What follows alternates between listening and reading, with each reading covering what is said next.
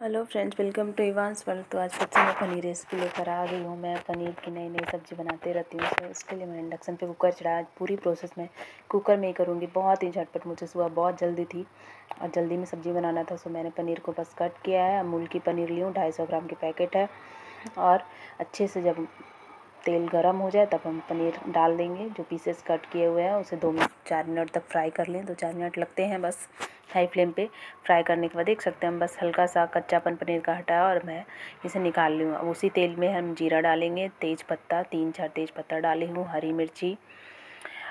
और मैंने चार चार साबुत लहसुन भी डाली हूँ और आठ दस लहसुन की कलियाँ छिली हुई भी और चार प्याज था, चार छोटे छोटे मीडियम साइज़ के प्याज थे।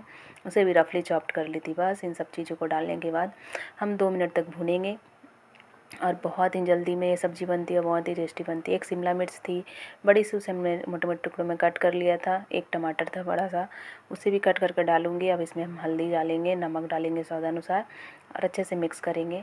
अब हम यहाँ पे इसमें कुछ भी नहीं, और नहीं डालना है, एक बूंद भी नहीं, पानी वगैरह डालना है, और अब मैं अब कुकर का ढक्कन बंद करूँगी और दो सीटी लगाऊँगी। आप देख सकते हैं, दो सीटी बस इसी तरह से, क्योंकि प्याज है, नमक डालेंगे तो पानी छोड़ेगा ही टमाटर इसलिए हम लोग, हमें इस स्टेज पे पानी बिल्कुल भी नहीं डालना है, बस दो सीटी लगाऊँगी, फिर कुकर ठंडा होने छोड़ देंगे।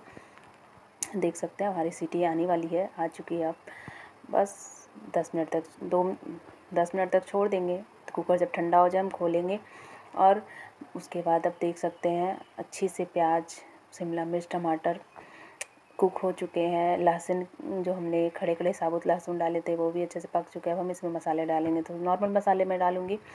थोड़ा सा धनिया पाउडर, एक चम्मच कश्मीरी लाल मिर्च पाउडर और Kitchen King masala powder.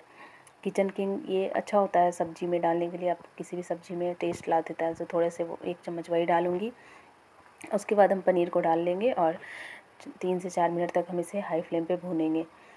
देख सकते हैं, मसाले तो हमारे अच्छे से भुन ही चुके हैं, पनीर भी उसके साथ अच्छे से मिक्स कर लेंगे। और दो चार मिनट तक इसी तरह से भुनने के बाद जब फ्राई सब सब्ज़ियाँ मसाले एक साथ हो जाए, उसके बाद हम पानी डालेंगे और धनिया पत्ती डालेंगे। सो, इस तरह से। और बहुत ही झटपट बनती है सब्ज़ी, और रोटी हो, चावल हो, आप पूड़ी पराठे किसी भी चीज़ के साथ खाएँ, बहुत ही यम्मी लगती है। पनीर की इस तरह की सब्ज़ी आप कभी ट्राई कीजिएगा, ज़रूर कुकर में और बहुत ही आसान है, आपको ज़्यादा अलग से सब कुछ फ्राई करने की ज़रूरत नहीं है। कुछ ना ही मैंने मसाले पीसे हैं, सब कुछ खड़े खड़े ही डाल दी हूँ। लहसुन की कलियाँ में बस छिलकर डाल दी हूँ, कोई हमने पेस्ट वगैरह कुछ भी एक्स्ट्रा नहीं बनाया है। अच्छे से देख सकते हैं और हमारे चैनल की रेसिपी आपको कैसी लगती है, आप हमें सपोर्ट करें, अगर आपको अच्छी लगती है तो कमेंट करें और हमारे चैनल को लाइक शेयर एंड सब्सक्राइब कर लें। सो बस सब्ज़ी अब हमारी अच्छे से भून चुकी है। इस स्टेज पे देख सकते हैं, दो दो मिनट पर चला रही हूँ नीचे से क्योंकि नीचे से चिपके नहीं। अब हम थोड़े से पानी डालेंगे, आधा ग्लास पानी डालना है, पानी हम ज़्यादा नहीं डालेंगे और थोड़े से धनिया पत्ता डाल देंगे और इसे ढक्कन को बस ऊपर से रख दूँगी, कुकर के ढक्कन को और इसे हम बॉयल थोड़े बॉयल आ जाए।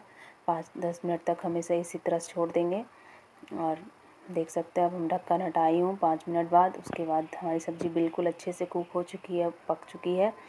अब दो मिनट तक और हम इसी तरह से हाई फ्लेम पे चलाएँगे। अब हम इंडक्शन बंद कर दी हूँ और थोड़े धनिया पत्ता डालकर हम सर्व कर सकते हैं। बहुत ही अच्छी ये सब्ज़ी बनी है, पनीर की ग्रेवी वाली। इस तरह से पनीर की सब्ज़ी आप, शिमला मिर्च पनीर की सब्ज़ी आप बना सकते हैं, बहुत ईजी वे में। और बहुत ही झटपट बनती है। आप इसे किसी भी चीज़ के साथ समय से नाश्ते में रोटी के साथ बनाई थी चावल के साथ भी सर्व कर सकते हैं। सो, इस तरह से मैं देख सकते हैं आपको अपना ब्रेकफास्ट भी दिखा रही हूँ। उससे वही बनाई थी पनीर की ग्रेवी वाली सब्ज़ी, मिठाई सलाद एंड रोटी थी। Thanks for watching